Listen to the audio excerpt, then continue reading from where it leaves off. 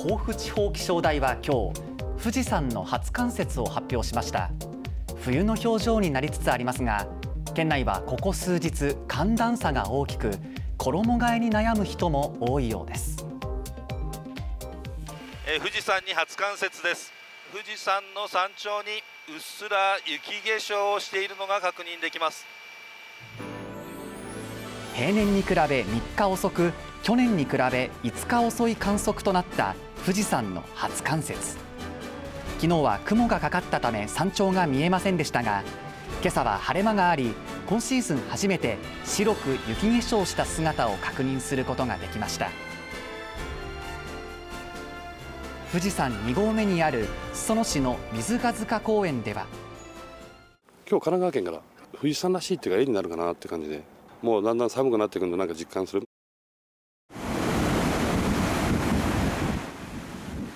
世界遺産富士山の構成資産の一つ清水区の三保松原からも雪化粧した姿が見えました。これからだんだん上の方が白くなってくると思うんですけどいかがですか？楽しみやっぱ富士山イコールこうねやっぱあった方がいい雪が。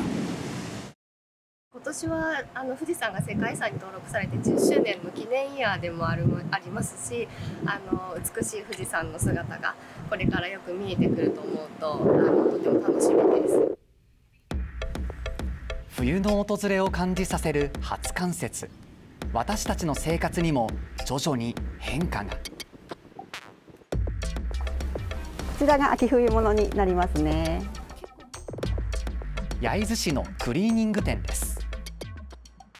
急に寒くなりましたので秋冬物を出される方が多いと思います。そう今月が特に多いですね今月に入り気温が下がり始めたことで秋冬用の衣類の扱いが徐々に増えつつあるということです。ただ先月28日には静岡市で最も遅い猛暑日が観測されるなど今年は衣替えのタイミングが難しい秋となっています。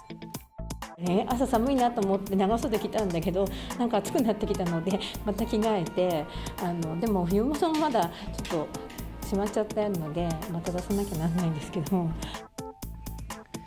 暑さはやや落ち着きつつあるものの時間帯による寒暖差はまだ激しく注意が必要となりそうです。